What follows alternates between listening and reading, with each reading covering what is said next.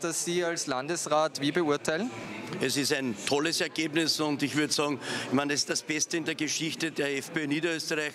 Natürlich freue ich mich, weil ich ja in den letzten fünf Jahren auch als Regierungsmitglied meinen Teil dazu beigetragen habe. So wie jeder, wie jeder Abgeordnete, wie jeder Gemeinderat, wie jeder Funktionär, weil wir am richtigen Weg waren und am richtigen Weg sind. Politik für unsere Bürger.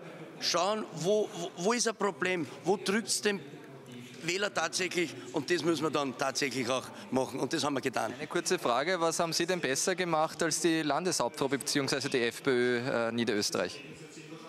Na, wir haben, äh, ich will nicht sagen, wir haben was besser gemacht, wir haben Politik für die Bürger gemacht. Das heißt, wir haben bei jeder Entscheidung, und das habe ich im Gemeinderat schon gelernt, jede Entscheidung, die du triffst, sollte abhängig davon sein, ist gut oder schlecht für die Leute. Und das haben wir gemacht.